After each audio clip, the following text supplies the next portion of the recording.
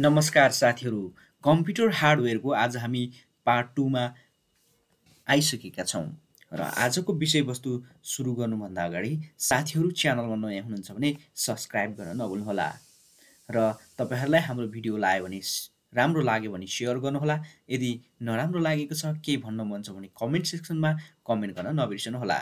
हामीले पहिलो सेसनमा computer हार्डवेयरको types पढौँ। टाइप्समा पुगेका छौँ। कम्प्युटर हार्ड भनेको के हो? हार्डवेयर भनेको के हो? इन्टर्नल र एक्सटर्नल हार्डवेयरको बारेमा हामीले छलफल गरिसकेका छौँ। त्यसै गरी हाम्रो आजको टपिक रहेको छ types of hardware. Types of हार्डवेयरमा हामीले यहाँ पुगेर हामीले स्टप गरेका थियौँ। यसमा चाहिँ input devices output devices processing devices र स्टोरेज डिभाइसहरूको अध्ययन गर्नेछौँ। यी सम्पूर्ण डिभाइसेसहरूलाई चाहिँ हामीले छुन सक्छौँ र देख्न सक्छौँ। जसलाई हामीले आँखाले प्रत्यक्ष रूपमा हेर्न सक्छौँ र हातले छुन सक्छौँ त्यस्ता डिभाइसहरू नै कम्प्युटर हार्डवेयर हुन्। So let's the begin our video साथीहरू आज हाम्रो टाइप्स अफ कम्प्युटर हार्डवेयर अन्तर्गत इनपुट डिभाइसहरू हेर्दैछौँ। इनपुट डिभाइसहरूमा यहाँले सक् हेर्न सक्नुहुन्छ इनपुटको माध्यमबाट चाहिँ हामीले हाम्रो डेटाको लागि हामीले कमान्डहरू दिन्छौँ। जसको लागि हामी किबोर्ड प्रयोग गर्छौँ। किबोर्डको प्रयोग गरेर हामी इन्स्ट्रक्सनहरू दिन्छौँ त्यसै गरी माउस युज गर्छौँ जोइस्टिक भिडियो गेमको लागि त्यसै गरी वेब क्यामेरा स्टाइलिस पेन होइन? Barcode reader microphone mic touch pad touch screen र fingerprint reader they are the input devices so we can see there and we can touch them so this is called computer hardware अब example of output devices output डिभाइसेसहरू हेर्न सक्छौँ जहाँ चाहिँ हाम्रो दिएको डेटाहरूलाई नतिजाहरूलाई हामीले मोनिटरको माध्यमले हेर्न सक्छौँ र त्यसै गरी हामीले आउटपुटको रूपमा प्रिन्टरहरूबाट पनि सामग्रीहरू निकाल्न सक्छौँ। So CRT monitor TFT monitor laser printer inkjet printer speakers multimedia projector dot matrix printer र प्लटरहरू चाहिँ हाम्रो टाइप्स अफ कम्प्युटर हार्डवेयर अन्तर्गत आउटपुट डिभाइसेसहरू हुन्। अब त्यसै गरी प्रोसेसिङ डिभाइसहरूलाई हेरौँ है त। प्रोसेसिङ डिभाइसहरू अन्तर्गत हेर्नुभन्दा अगाडि साथीहरू फेरि मैले बिचमा जोडेँ। यदि तपाईँहरू हाम्रो च्यानलमा नयाँ हुनुहुन्छ भने सब्सक्राइब गर्नु भने जरुर नबिर्सनुहोला। भिडियो मनपर्छ एक लाइक पनि गर्नुहोला।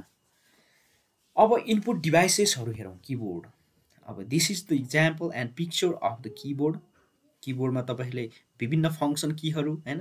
विभिन्न किहरू टप कि रोप कि क्याप्सलक की सम्पूर्ण किहरू यहाँ देख्न सक्नुहुन्छ। Computer keyboard is an output input device not a output device input device that allows a person to enter letters यहाँ चाहिँ हामीले नम्बरहरू थिच्ने त्यसै गरी लेटरहरू थिच्ने अदर सिम्बलहरू थिच्ने हामी कम्प्युटरमा हामी कमान्ड दिन सक्छौँ। So many keyboards are wireless धेरै प्रकारका किबोर्डहरू छन् तीमध्ये वायरलेस किबोर्ड पनि छन्। Communication with the computer via Bluetooth or and RF receiver यसबाट पनि हामी कमान्डहरू दिन सक्छौँ। त्यसै गरी the most common standard of keyboard is QWERTY अहिले चलेको प्रचलनमा रहेको एकदम स्ट्यान्डर्ड किबोर्डको रूपमा क्युडब्लुआरटिवाईलाई लिन सकिन्छ। त्यसै गरी इनपुट डिभाइसेस अन्तर्गत चाहिँ हाम्रो किज इन अ किबोर्ड कि कुन कुन हुँदैछ? त्यसमा अल्फाबेट कि ए टु जेडसम्म हुन्छ नम्बर कि जिरोदेखि नाइनसम्म हुन्छ अल्फा न्युमेरिक कि भनेको वाटहरू यस्ता हुन्छन्। सिम्बलहरू। त्यसै गरी फङ्सन कि अन्तर्गत यफानदेखि यफ टुवेल्भसँग रहन्छन् र त्यसै गरी युज अफ फङ्सन कि जस्तै यफान भनेको सर्टकट हो त्यो help or office assistance you have to rename the select file and folder reboot the computer number three F थ्रीमा चाहिँ find and research F four भनेको चाहिँ repeat last action and F five भनेको refresh reload the web page side so in PowerPoint यिनीहरूको चाहिँ छुट्टै आफ्नै काम छन् यसको छुट्टै हामी पनि पछि एउटा भिडियो लिएर आउनेछौँ। सर्टकट कीको त्यसै गरी input F five F six move the cursor in the address bar of the browser F seven check the spelling and the grammar error F eight safe mode F nine increase the volume F ten active the menu of an application F eleven full screen create the chart in Excel and F twelve save as uses of the function key तिनीहरू भइहाल्यो। Shortcut किहरू भइगयो। ल यसरी हाम्रो सबैभन्दा माथि monitor किबोर्डको माथि यसरी यसरी हाम्रो यहाँ यो भागमा चाहिँ रहेका हुन्छन्। अब मोडिफायर किहरू पनि हुन्छ त्यहाँनिर सिटिआरएल ए थिच्दा सेलेक्ट अल हुन्छ अल्ट प्लस एफ फोर थिच्दा क्लोज द डकुमेन्ट हुन्छ C plus F change the cases हुन्छ सो यो चाहिँ मोडिफायर किहरू हुन् जस्तै अल्ट सेन्ट सिटिआरएल सिफ्ट विन्डोज कि होइन? यिनीहरूले चाहिँ कुनै पनि अन्य किसँग चाहिँ कम्बिनेसन भएर काम गर्दछ? ल यो है हाम्रो त्यस्तो। त्यसै गरी नेगिभेसन के छ? Insert home page up page down end delete छ होइन? यिनीहरूले चाहिँ क्रसरको काम पनि गर्दछ यसरी। तल up down side left side right side होइन? End keys and tab keys it is also कर कर्सर की पनि भनेर भन्दछ। त्यसै गरी अर्को छ इनपुट डिभाइस माउस माउस भनेको चाहिँ is a input device and pointing device यसरी हामीले यहाँनिर यहाँ अहिले हल्लेको देख्न सक्नुहुन्छ। यही हो माउस माउसले काम गरिरहेको छ। It is use for drag and drop यसरी होइन गर्नको लागि युज हुन्छ। Smooth control of the graphical user interface ल इन्टरफेस हेर्नुहोस् यहाँ।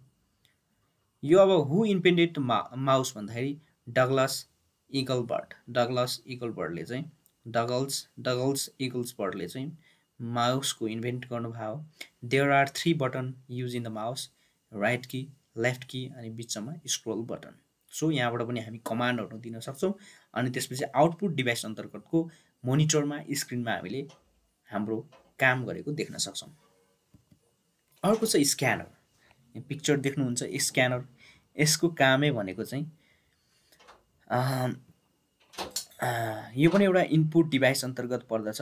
यसले चाहिँ convert hard copy into short soft copy कुनै पनि हार्ड कपीलाई चाहिँ हामीले यसले सफ्ट कपीको रूपमा हाम्रो डिभाइसहरूमा स्टोर गर्नको लागि युज गरिन्छ। यसले चाहिँ capture the image from photographic printers posters magazines page and similar sources for the computer editing and डिस्प्लेको लागि पनि यो एकदमै युज हुन्छ। त्यसै गरी scanners come in hand held हातैले बोक्न सकिने खालका सानो पनि युज हुन्छ फ्ल्याट टाइप्सका होइन black and white only colourful they are the types of scanner scan गरेर हामीले कुनै पनि हार्ड कपीलाई सफ्ट कपी मार्फत हामीले फाइलहरूलाई आदान प्रदान गर्नको लागि सजिलो हुनको लागि यसको प्रयोग गर्ने गर्दछौँ। त्यसै गरी छ OCR optical character recognition software works with your scanner to convert printed character into digital text ल. डिजिटल टेक्स्टमा यसले रूपान्तर गर्दो रहेछ। Allowing you to search for the क्रि edit your document in word processing program यसबाट चाहिँ हामीले डकुमेन्टहरूलाई पनि के गर्न सक्यो? एडिट पनि गर्न सक्दो रहेछ यो स्क्यानर मार्फत।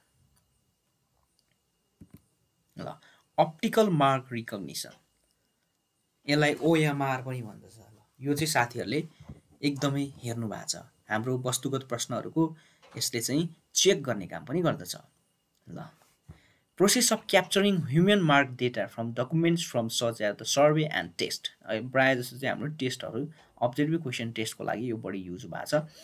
Questionnaire and multiple choice examination paper in from the line and shaded areas ल यसरी चाहिँ यसले काम पनि गर्दो रहेछ।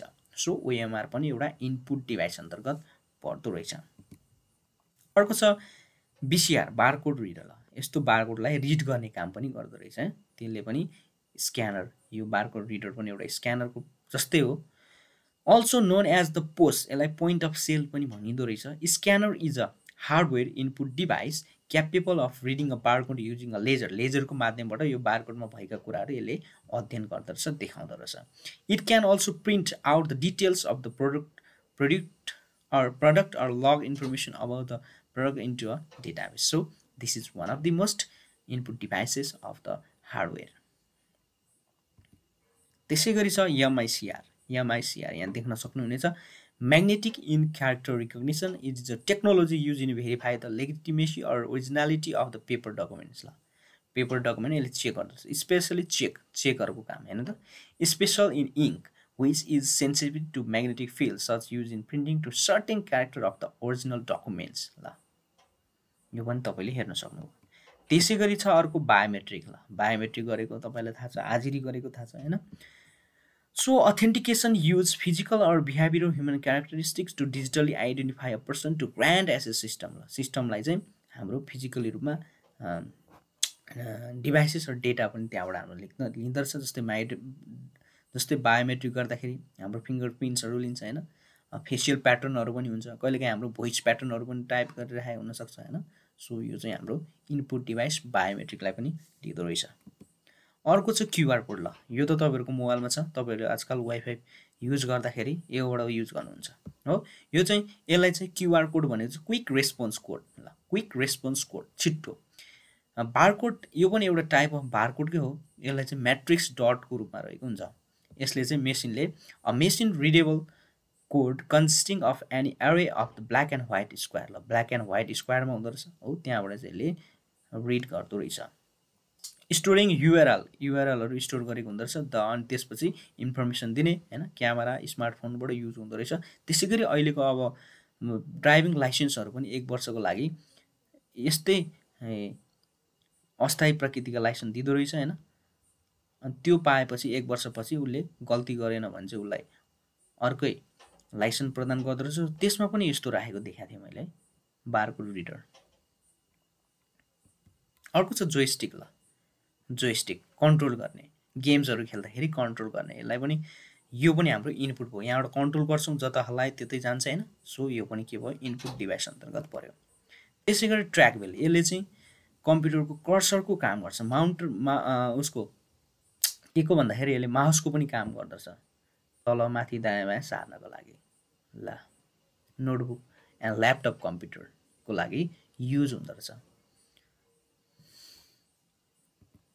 त्यसरी अर्को छ लाइट पेन तपाईँहरूले देखाइरहनु भएको होला कुनै कुनै screen touch monitor screen touch हाम्रो ल्यापटप त्यस्तो हुन्छ भने यसले पनि युज गर्न सक्छ लाइट पेनले यो पनि हाम्रो पिक्चरहरू ड्र गर्ने होइन?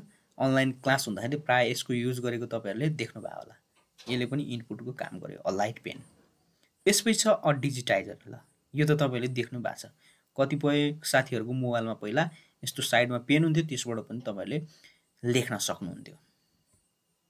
अब वेब क्याम वेब क्यामले त झन् त्यसले प्रत्यक्ष रूपमा क्याप्चर भिडियो इमेजहरू क्याप्चर गर्छ होइन? त्यसपछि त्यसलाई हामीले कनेक्ट हाम्रो मोनिटरमा देखाउँछ। सो यो पनि इनपुटको एउटा सोर्स भयो। अर्को छ एनएमआसआर ल। एमएसआर ल म्याग्नेटिभ हो क्रेडिट कार्डहरू यसले चाहिँ स्वाइप गरेपछि हाम्रो के हुन्छ? पैसाहरू काटिन्छ नि हो।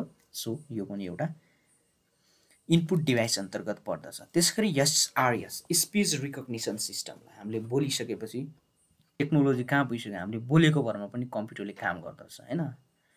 अहिले बोलेर पनि टाइपिङ गर्न मिल्छ नि हो यस्तै सिस्टम ल साथीहरू आजको भिडियो कस्तो लाग्दैछ? कमेन्ट गर्न नबिर्सनु होला आज हामीले टाइप्स अफ कम्प्युटर हार्डवेयरको इनपुट सकायौँ।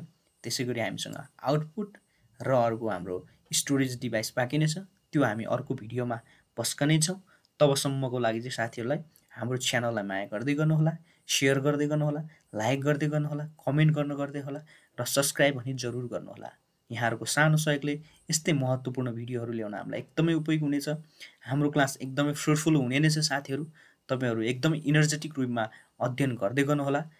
शिक्षक सेवा आएको अब प्रथम पत्र चाँडै नै खुल्दैछ। आजलाई यति नै। हवस् धन्यवाद।